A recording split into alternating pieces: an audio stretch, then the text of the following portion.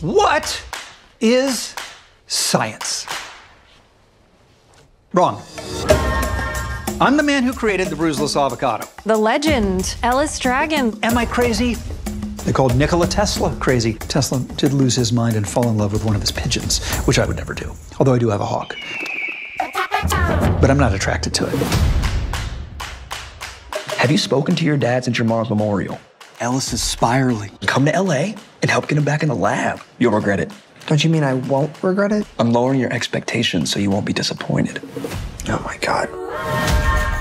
All my dad ever does is try to change me into being more like him. I want you to be exactly a version of you. A version of me. You, but with some tweaks.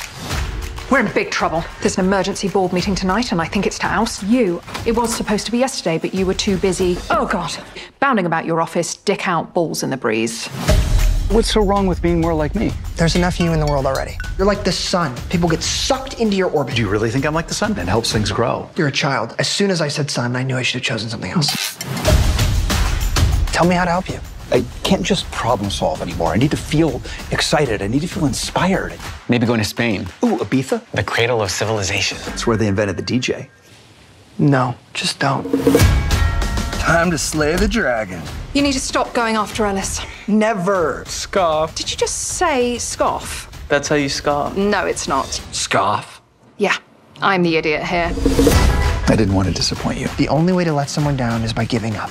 Oh, my son. My dad, he's eccentric. That brain of his is what makes him a brilliant, Right! kind It's a friendship. innovator that thinks mankind is capable of great things. I walked a mile in your shoes today, Jackson. I lived in the shadow of a god. Oh, nice. You almost made it through a whole day without comparing yourself to a god. I'm really excited to try the butt stuff you taught me. No, uh, it's not butt stuff. In the classic sense, it's more of a way of using your butt to make you feel good. Mm-mm. Like a way of using your butt to help you achieve. God damn it, Dad.